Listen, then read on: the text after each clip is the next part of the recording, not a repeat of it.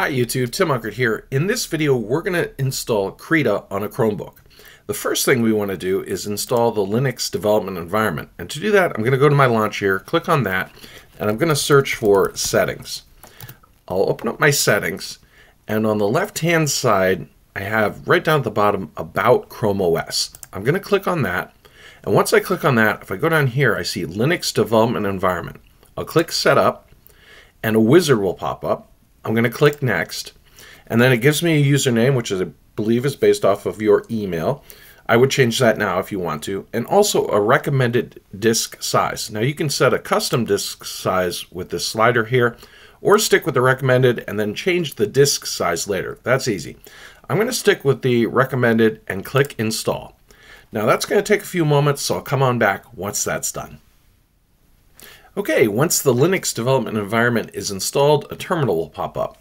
At this point, I can go and close out my settings. Let me maximize this terminal and make it a little bit larger so you can see what I'm going to do. So I want to make sure everything's up to date. I can do that by typing sudo apt update and then two ampersands and then sudo apt upgrade with the dash y flag. And that just says yes to any additional storage.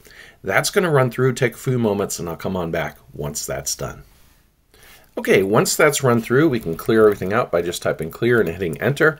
And then we want to install Krita. So we're going to type sudo apt install Krita and hit enter. And this is going to take an extra 649 megabytes of space, so you want to make sure you have that. If you do, click yes and hit enter. And I'm going to let that run through, and I'll come on back once that's done. Okay, now that that's run through, I can just close this out and if I go over here to my launcher and scroll on down, and if I look in my Linux apps, I see I have this icon for Krita. I'm just going to pin it to my shelf and then click open. And here we go. Krita opens on up and you can begin using the program. Hopefully you found this video helpful. If you did, please like and subscribe. Thanks for watching.